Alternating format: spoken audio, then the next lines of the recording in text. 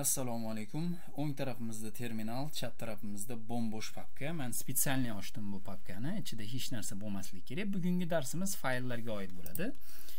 Xo'p, e, shu papkani o'zidan terminalda ochdim man opening terminal qilib mana adresi bilan turibdi. Documents files qilib bu yerda ham mana ko'rib turibsizlar.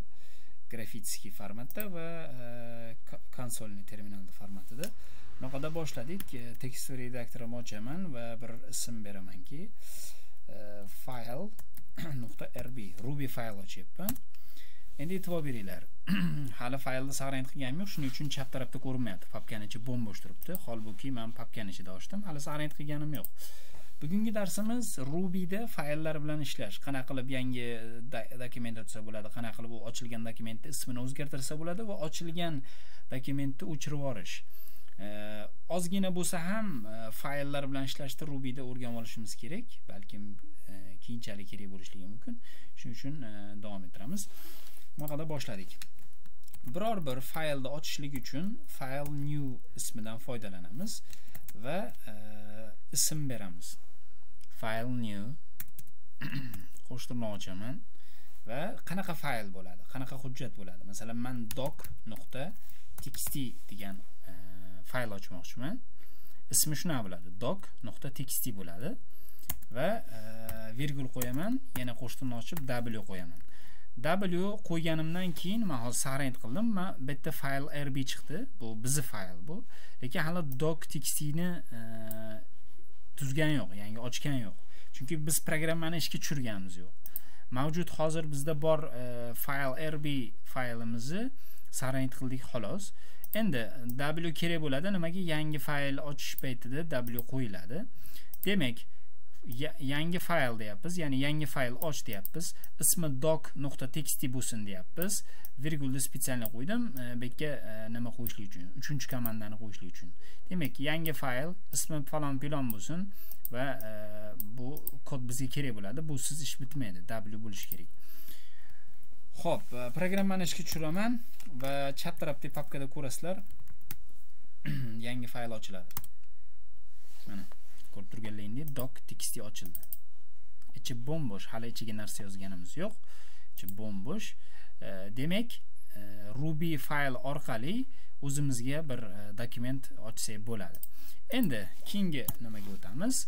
biz hozir hozir yangi fayl ochishni o'rganib oldik endi buni ismini o'zgartirish qanaqa bo'ladi ismini o'zgartiramiz xuddi shuni newda o'chirib tashlab turib rename ism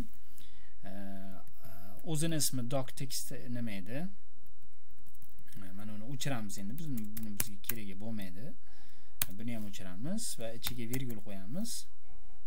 Yo'q bunday qilaylik. Adashmasam va ismini man e, hujjat deb qo'ymoqchiman. Hujjat.txt ya'ni e, biz aytyapmizki fayl doc.txt faylimizni ismini hujjatga o'zgartir deyapti.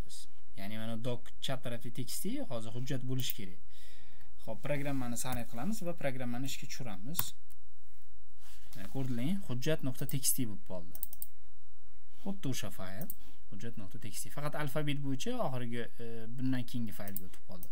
Tushunarlika e, ho'p davom ettiramiz. Ismini yangi fayl ochishni o'rganib oldik va uni ismini o'zgartirishni ham o'rganib oldik. Endi buni o'chirib tashlashni o'rganishimiz kerak. Uchun biz delete qo'shimchasidan foydalanamiz va doc txt bizda уже yo'q bu dastur yo'q e, hujjat yo'q. E, hujjatni o'chirib tasha deyapmiz ya'ni hujjat faylimiz bor ediyu mavjud bo'lib turgan hujjatni o'chirib tashlaymiz fayl nuqta delete. Demak e, programmani ishga tushiraman sarang qildim. Endi tomosha qilib turasizlar chap tarafda hujjat o'chib ketishi kerak. O'chib ketdi. Demak ruby faylni ichidan turib yangi fayl ochishimiz mumkin va ochgan faylimizni yoki biror bir bor mavjud bo'lgan faylni ismini o'zgartirishligimiz yoki mavjud bo'lgan bir faylni o'chirib yuborishligimiz mumkin ekan. Keyingi darslarda e, xudo xohlasa nasib qilsa e, mavjud bo'lgan faylni ichidagi ma'lumotni qanaqa qilib o'qisa bo'lishligini ko'rsatib o'tishga harakat qilaman. Hammaga e, sog'lik salomatlik tilayman. Keyingi darslarda ko'rishguncha xayr.